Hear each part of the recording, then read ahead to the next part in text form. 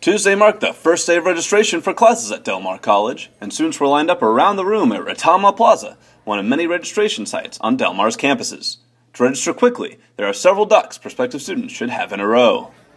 We will request either um, copy of their high school transcript.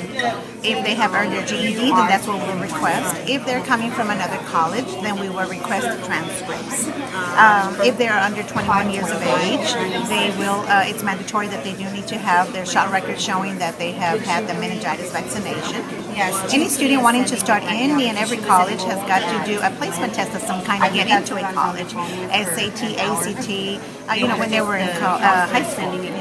If uh, that is not working, then we have what you call the TSI.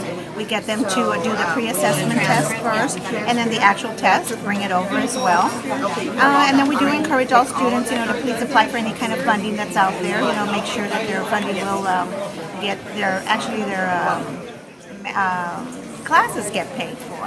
Uh, last but not least is that they'll meet with an advisor at the department of their majors. It's my job to make sure that they're advised for the right department, following the right degree plan, and so forth and so forth.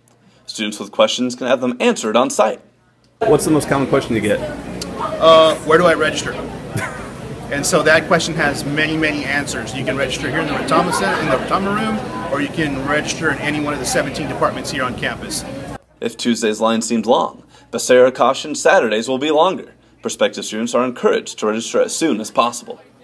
Today we'll see well over a thousand students that are coming through our door that need all sorts of advising or financial aid assistance or registrar. Uh, but our heaviest day is probably going to be Saturday.